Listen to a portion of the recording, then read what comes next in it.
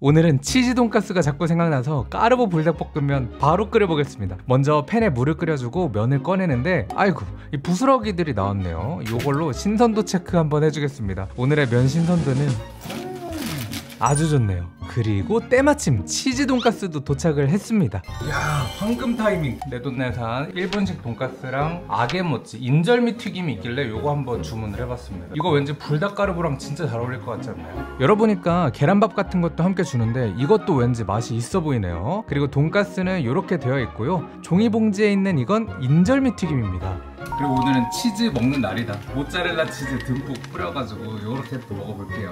그리고 치즈는 다다익선이잖아요 까르보 불닭에도 치즈를 뿌려줄 겁니다. 이렇게 햇반 그릇에다가 치즈를 부어주고 전자레인지에 1분 정도 돌려서 뿌려줄 거예요. 지금부터 이제 진짜 맛있게 먹으려면 전쟁입니다 전쟁. 바로 달려가서 끓는 물에 면을 넣어주고 쫙 풀어준 다음 재빠르게 돈가스가 있는 곳으로 다시 갑니다. 그리고 치즈 돈가스를 맛있게 딱 잘라주는데 와 치즈 흘러내리는 거 보이시죠? 야 진짜 너무 맛있어 보이지만 아직은 때가 아닙니다. 여러분들과 함께 먹어야 되니까 보기 좋게 그릇에 담고 인절미 튀김과 샐러드도 담아줬습니다. 이제 아까 준비해뒀던 치즈를 녹여줍니다. 전자레인지에 넣고 1분 돌려주고요. 면으로 와서 시계를 보니까 딱 4분 50초가 지나고 있네요. 이제 물을 버려줍니다. 집가락으로 듬뿍 집어서 입구를 막아주고 물을 버리면 이렇게 쉽게 버릴 수 있습니다. 자, 소스를 쭉쭉 짜주고 분말 스프도 부어준 뒤 비벼주세요.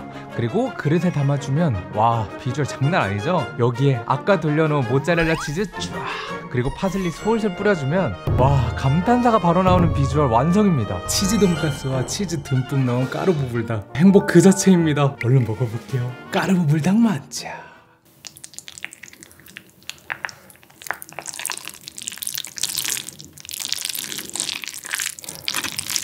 와, 이 꾸덕한 소리 봐.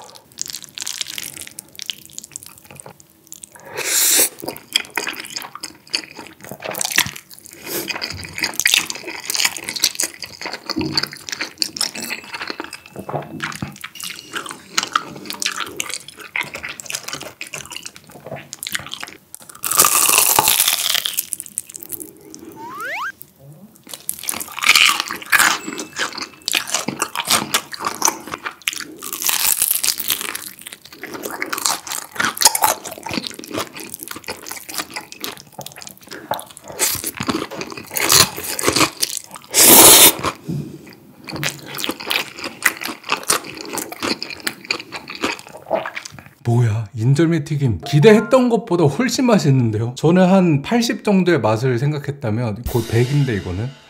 치즈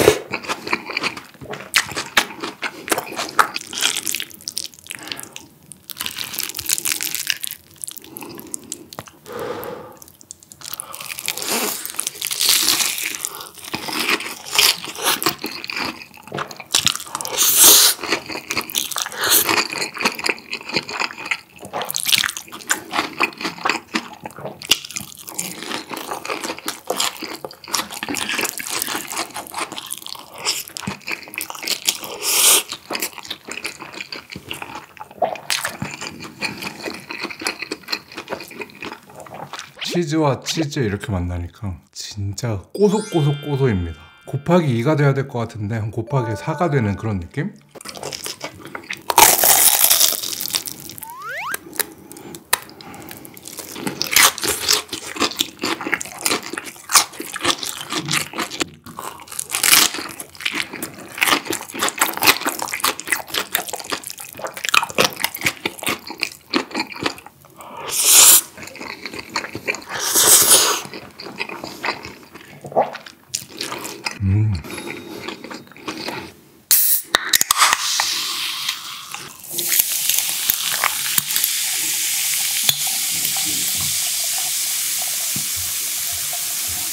짠!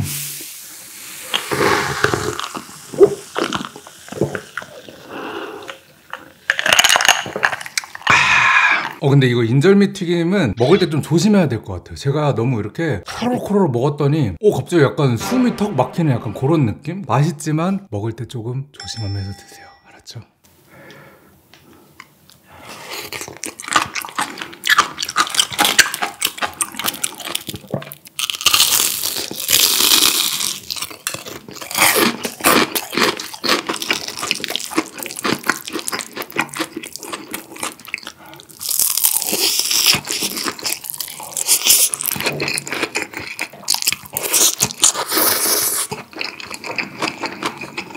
Mm.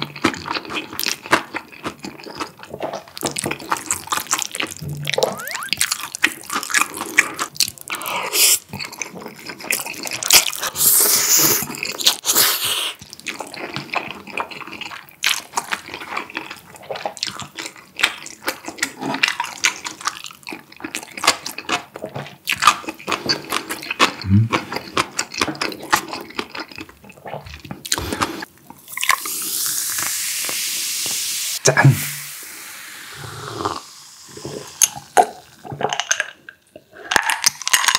아이고. 아까 이 돈가스를 주문하니까 계란이 올라가 있는 밥을 주시더라고요. 근데 돈가스가 마침 한 점밖에 안 남았으니까 그 밥이랑도 한번 먹어볼게요. 궁금하더라고 어떤 맛인지. 짠. 이렇게.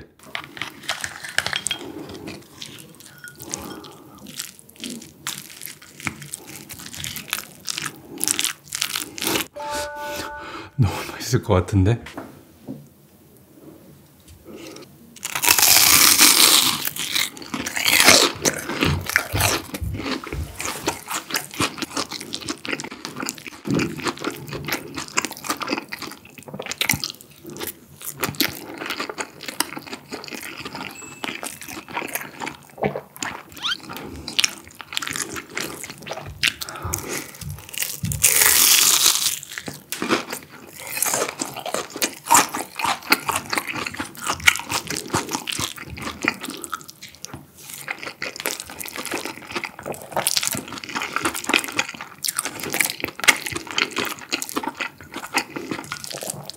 아까 올려져 있던 그 노른자가 여기 있는 밥들을 되게 고소하게 이렇게 딱 만들어주는데 그 안에 파랑 튀김옷 이런 것들이 막 있었잖아요. 그러니까 살짝 더 고소하면서 좀 바삭바삭하면서 이 소스가 같이 새콤하게 탁 쳐주니까 맛있어요.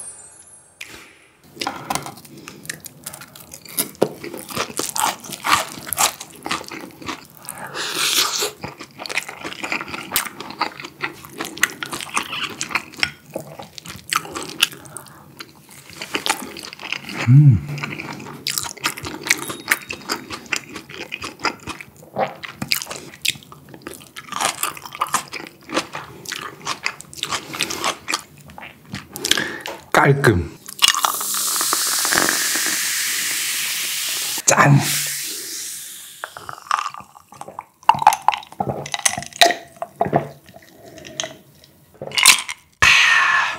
잘 먹었습니다. 오늘 치즈 돈가스에 치즈 까르보 불닭을 먹어봤는데요. 야 고소함과 고소함이 만났는데 거기에 불닭의 매콤함이 또 한번 톡톡톡 쳐주니까 딱 좋았습니다. 다음 영상으로 또 만나보고 싶은 메뉴가 있다면 댓글로 많이 많이 적어주시면 제가 참고해서 준비하도록 하겠습니다. 오늘 영상도 맛있고 재밌게 보셨다면 좋아요와 구독, 알림 설정 부탁드립니다. 그러면 오늘은 여기까지.